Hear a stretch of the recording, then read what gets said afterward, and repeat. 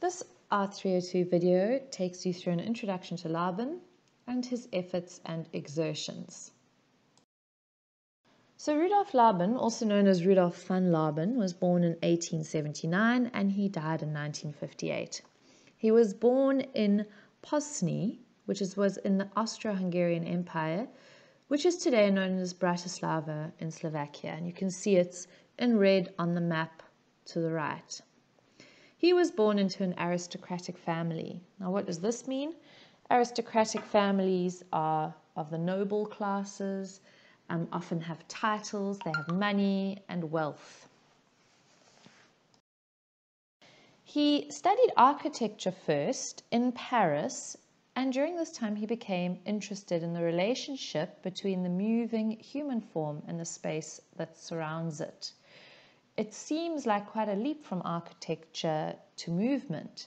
However, if we think carefully about it, both are interested in space and how space is occupied. So maybe not as far removed from each other as it initially seems. He became interested in the movement arts at around the age of 30, and he later became both a performer and a choreographer. What exactly is a choreographer? A choreographer is a person who makes up dances. Around 1919, his career took off in Germany, and he became rather successful with a dance theatre company, a chamber dance theatre company, a school, a movement choir for amateurs, and he was also involved in writing articles and books, and he performed and created dance works. He had a period of success after that, and over the next 10 years, he created 25 Laban schools and choirs for the education of children and amateurs, including men and professional dancers. And his schools were in a variety of different places in Europe. He was recognized as an intellectual in the field of dance, theatre, and movement study and was at the height of his career. However, if you remember on um, the previous slide, we said he was in Germany. And Germany at this time was starting to go through the beginnings of the Second World War. Um, and his name and work was destroyed by the Nazi government propaganda ministry. And this was around 1936, which was at the beginning of the Second World War. So he moved to Britain in 1938 as a refugee from Nazi Germany, and everything that he established there had been destroyed, as was uh, um, with a lot of people in the Second World War. He was also now a lot older, and in Britain at the age of 60, he started to look at the way people move in industry, and he studied methods to increase production through humane means. Um, I read a story about him being involved in a factory at around the time of the Second World War, and he was involved in trying to assist the people working on the production line to be more efficient, to use their bodies more efficiently in um, what they were doing in this factory. He died in 1958 at the age of 79, but a lot of his ideas have um, continued and continue to be relevant today. So his ideas have generated innovations in dance, acting, performance, in the study of nonverbal communication, in ergonomics. Ergonomics is using your body optimally in educational theory, child development, personality assessment, and psychotherapy. So we can see from this list that his reach is far greater than simply dance and movement. So he was interested in how the body moved in a natural way, which is what we're interested in in our creative movement section. Laban Guild said in 2017 Rudolf Laban found a fascination in observing people's movements in all aspects of life. His analysis of movement is based on anatomical, spatial, and dynamic principles. What the body can do, how it does it, how it relates to space, and how the quality of the movement affects function and communication. And he applied his work and movement to all human movement. So he wasn't simply interested in dance. Maybe it started out as an interest in dance, but then went on to an interest in the way that humans move in a variety of contexts, not just dance. Rudolf Laban broke movement down into two sections, namely exertions and efforts. And here we have a quote from Konie that says if it can be described as the dynamics, the qualitative use of energy, texture, color, emotions, inner attitude, etc. There is an ongoing, which is flow, sense of self, which is weight, in relation to the environment, which would be the space, over time, which of course relates to the time. And these four things, flow, weight, space, and time, are the four exertions. There they are again. So weight can be strong or light. It can be space can be direct or flexible. Time sudden or sustained. And flow can be bound or free. And we're going to speak about each of these in a little bit more detail. First of all is weight. So if we look at the actual definition of weight, it is the amount of pull of the Earth's gravity on the body. So that is what is measured when you stand on a scale. Weight is measured in kilograms and grams, but for Laban, he said it was more than this. He was interested in how a large person can walk in a way that is as light as a feather. Yet sometimes we get small or light people who are really heavy in their movements. So, what happens to the weight in these cases? How is it that dancers can jump in the air and land without any noise? So these were some of the questions that Laban wanted to address about weight. Laban was also interested in the kinetic force that was needed. So this is when the body senses or works out how much force is needed to do a certain movement. So for example, if you're going to be looking at pushing a car, you know that you're going to have to really engage your muscles and push quite hard. It's going to be a totally different feeling to pushing a pram, for example. If you pushed a pram with the same amount of force that you pushed a car, well, the pram would go shooting forward. Conversely, if you pushed a car with the amount of force that you needed to push a pram, well, that car might just run you over. Um, kinetic sensing has to do with when we pick up objects. So if you see a piece of paper on the floor and you bend down to pick it up, you're going to use a lot less effort than if you're picking up a pail of water, for example.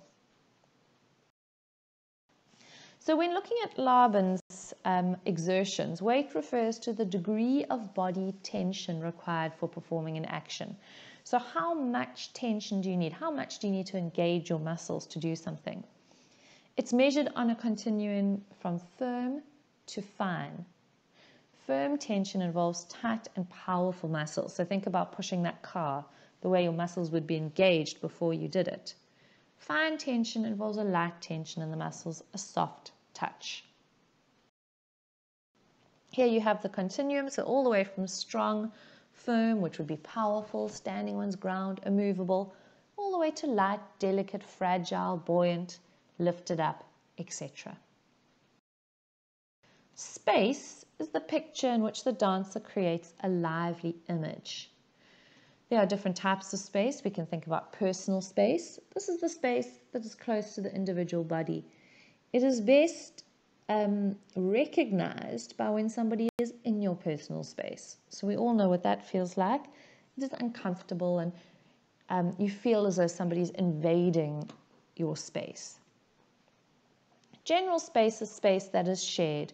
So if you think about a lecture venue, we are sharing the space. This is the general space. Negative space is your unoccupied personal space. So think of yourself with an aura around you or sort of 5 to 10 centimeters of air around you, and that is your unoccupied personal space.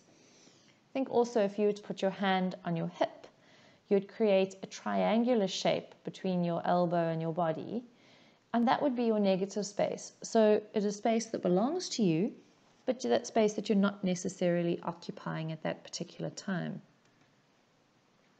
And positive space refers to our occupied personal space, so the space that we're actually using at a specific time.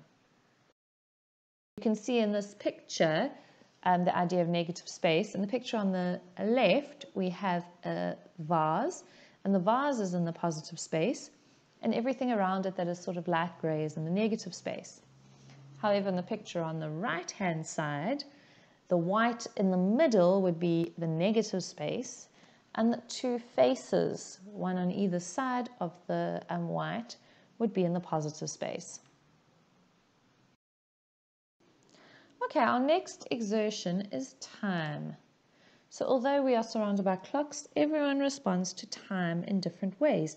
And we have people who are naturally slow and sustained, and some people are naturally quick and sudden, fast in their movements. The duration of a movement or series of movements can range from short to very, very long. And we can create quite a difference in the movement that we do if we do it slowly um, or if we do it very short or suddenly. Sudden involves an immediate, often surprising action. At the other end of the continuum, the body takes time to execute a single action. The movement is sustained, lingering, and ongoing. In the vocabulary, some actions are sudden, such as freeze, bounce, and stamp. Others are sustained, like settle and sink. So time exists on this continuum all the way from sustained which are movements which are lingering, drawing out, prolonging, leisurely, all the way to things that are quite quick or sudden, urgent, instantaneous, staccato, quick, hurried, now. And time can happen anywhere across that continuum. Flow. We usually associate flow with liquid. Thinner liquid flows faster. But flow describes movement that is unimpeded and continuous. Flow indicates a liberation of movement. The opposite is a movement that is broken up and jerky, where we're stopping and starting, and the flow seems to be interrupted. So Laban said that flow can be free flow or bound flow. And free flow is the first. The movement is unimpeded, continuous, difficult to stop. Whereas bound flow is broken up, jerky, and has the quality of stopping and starting. So here we have it again, free flow, completely unimpeded, difficult to stop suddenly. The dancer is confident, the movement is fluid. On the other hand, we have bound flow. The movement is tentative. It can be stopped at any given moment. For example, you are stroking a dog that might bite you. Your hand is ready to retract as soon as you need to. Or if you're performing a task that requires care, such as painting a window frame, this would also be bound flows because if you make any kind of error, you can stop immediately. The body can move in a continuous motion or movement can be interrupted and come to an abrupt halt, binding the flow. You can introduce the concept of flow by exploring speedily tumbling with the body close to the floor and then suddenly halting the movement, binding it in unexpected positions. So if you were to fall to the floor, um, it would be difficult to stop halfway. So we would say that is a free flow. And here we have our continuum again. So we have free flowing on the one side, outpouring, letting the inside out, letting the outside in, uncontrollable, open-hearted, fluid. And on the other end, we have movements that are bound, contained, controlled, keeping the inside in and the outside out, can be stopped at any moment, they're rigid, and boundaries are set up. In addition to the exertions, Laban created eight efforts. So here we have pressing, flicking, wringing, dabbing, slashing, gliding, punching or thrusting, and floating. And we'll discuss each of these in a little bit more detail.